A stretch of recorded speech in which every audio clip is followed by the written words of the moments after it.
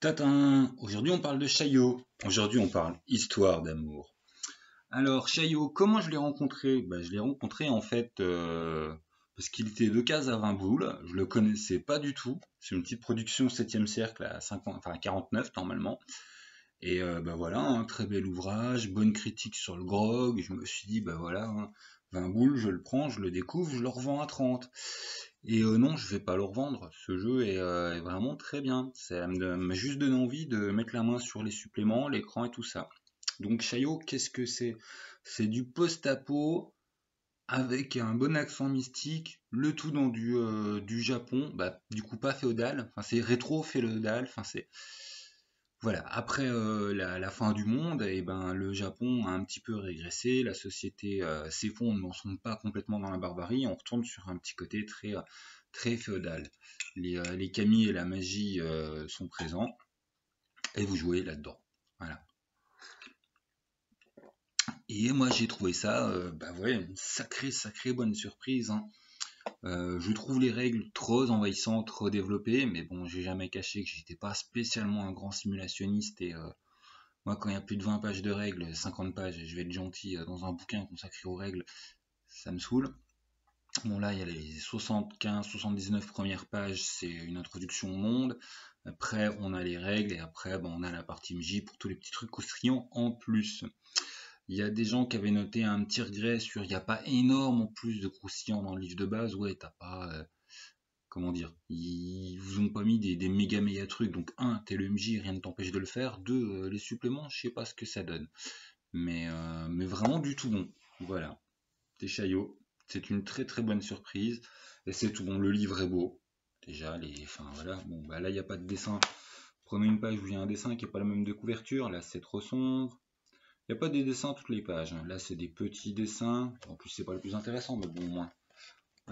Petit dessin d'illustration sur les duels dans la section combat.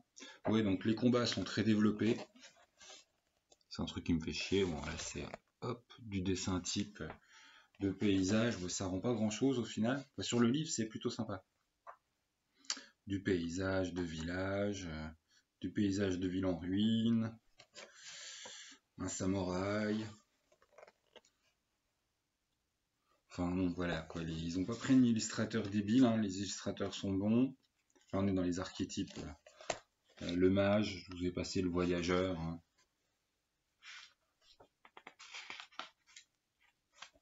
La petite geisha. Ah oui, donc c'est sympa, hein, c'est pareil. Les geishas sont vraiment jouables là-dedans. Ils ont ramené bien geisha, ça signifie en fait artiste voilà la traduction c'est pas pute c'est artiste donc de toute façon dans la pure tradition il me semble que les geishas elles couchent pas hein. mais bon enfin tout voilà on va arrêter de partir très loin moi je voulais juste bien stipuler que ce jeu si vous le voyez passer à 20-30 balles que vous aimez bien les euh, hop je le rends plus visible avec tous les reflets pourris voilà. Ouais, t'as un gros samouraï en armure en fait dessus avec un fond en flamme et puis c'est écrit euh, sur le côté. Voilà. C'est plutôt sombre, hein, la couve. Et il y a du démon, là, la silhouette. Et euh, donc, ouais, voilà. À 20-30, c'est vraiment, moi je pense que 20, j'ai vraiment chopé une bonne bonne occasion. Euh, je ne le connaissais pas avant de le voir passer, je l'ai jamais vu repasser depuis. Donc euh, je vais peut-être mettre le temps pour trouver la suite, mais ça donne vraiment envie de trouver la suite. Hein. Il y a beaucoup de... Comment dire La magie, elle est équilibrée pas exactement dans la puissance. Je trouve que les prêtres sont un petit peu plus cheatés que les, euh, que les mages. Bon, ça s'appelle pas mage, mais je vais vous simplifier le truc, parce que si on commence à mettre des noms euh, japonais toutes les 25 secondes, ça va être une vidéo de définition. Mais euh, donc ouais, les, les, mages sont surtout en fait tournés sur l'utilisation des éléments. Eau, terre, compagnie. le cinquième, c'est l'énergie là-dedans. et les prêtres, il y a deux types de prêtres. T'as le chaman et t'as le taoïste. Voilà. Euh, il y a tout un truc sur les UViers. Enfin, il y a vraiment. Il y a pas mal de, choses. C'est bien fait. Voilà. C'est très bien fait. En gros, tu as une voix de magie de, voix de prêtre. Voilà. J'ai vraiment euh, charclé tout.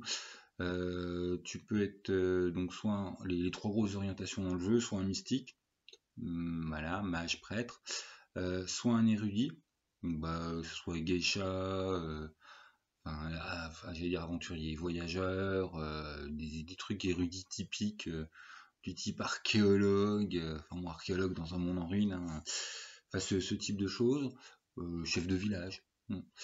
Ou tu peux être guerrier. Alors bon, forcément, la voix du, combattant, hein, qui là d'ailleurs je vous dis en français, hein, maintenant le bouquin, à chaque fois c'est avec des termes japonais qui mettent bien dans l'ambiance. Euh, ou t'as, bah, c'est Bushi, c'est le plus simple pour les combattants effectivement euh, le c'est pas Ronin c'est comment s'appelle? Un, un Yojimbo c'est-à-dire la, lame qui se vend le mercenaire euh, t'as le samouraï et puis euh, t'as le ninja. Donc non c'est bien fait. Par exemple aussi pour je suis pas très règle je me répète mais par exemple les règles collent à l'ambiance du monde.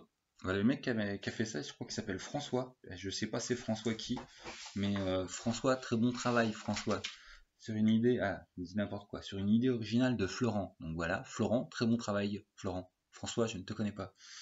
Donc voilà, merci Florent, c'est vraiment une super idée originale qui a donné un bon jeu euh, bien original.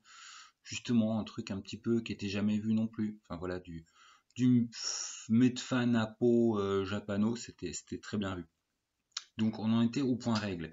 Et ben par exemple, les règles, il y a euh, le corps, le ciel, l'instinct, ça va être les trois caracs. Après, ça se subdivise en trucs euh, qui vont vachement plus vous parler. Hein. La Terre, c'est tout ce qui est physique. L'instinct, c'est à la fois la perception, le lien au qui, le lien avec la magie, le lien avec le monde, c'est l'altérité. Et euh, le ciel, bah, c'est pour tout ce qui est esprit. Bon, mais plutôt que d'appeler ça corps, esprit, social, bah, ils t'ont appelé ça ou aura, hein, pour euh, penser à d'autres jeux, ils ont donné des, euh, significations bah, qui font quand même bien ambiance euh, Asie. Donc voilà, c'est bien vu les règles, c'est bien vu. le chapitre du combat est beaucoup trop long à mon goût. Après, sur un truc, un jeu qui est quand même basé sur des samouraïs qui ont une petite tendance à souvent se foutre sur la gueule, c'est la moindre des choses. Pour moi, ça saoule et je vais faire, voilà, en bien plus complet. Mais c'est, voilà, ça m'a saoulé en tant que, MJ parce que c'est pas ma pas ma cam. J'aurais vraiment du mal à reprocher euh, ces pages dans, le bouquin. Tellement effectivement, vu le thème du monde, euh, c'était la moindre des choses de proposer au MJ un système de combat euh, non pas des plus développé, mais assez développé pour permettre la simulation. Vu qu'on est quand même dans un jeu qui est orienté simulation. Hein. Il y, a, une centaine de pages qui sont consacrées aux règles, liste de sorts, manœuvres de combat, création de perso euh, compris. Voilà, bon, bah, ça fait 7 minutes, je pense que j'ai à peu près euh, présenté le tout. En plus, j'ai une invasion de, Wawa là juste à côté qui me saute pas sur la gueule, mais ça va pas tarder. Et voilà, Chayo, c'est une bonne surprise, c'est un très bon jeu. Un monde, euh, voilà, un monde inconnu, pas souvent exploité. Tu veux passer à la télé, Paki? Non, elle veut pas passer à la télé la télé. Ah putain, j'arrête de m'enfoncer. Bon, sur ce, euh, je vous laisse. Chaillot, c'est bon, mangez-en. Mangez Chaillot. C'est bon, Chaillot. Ciao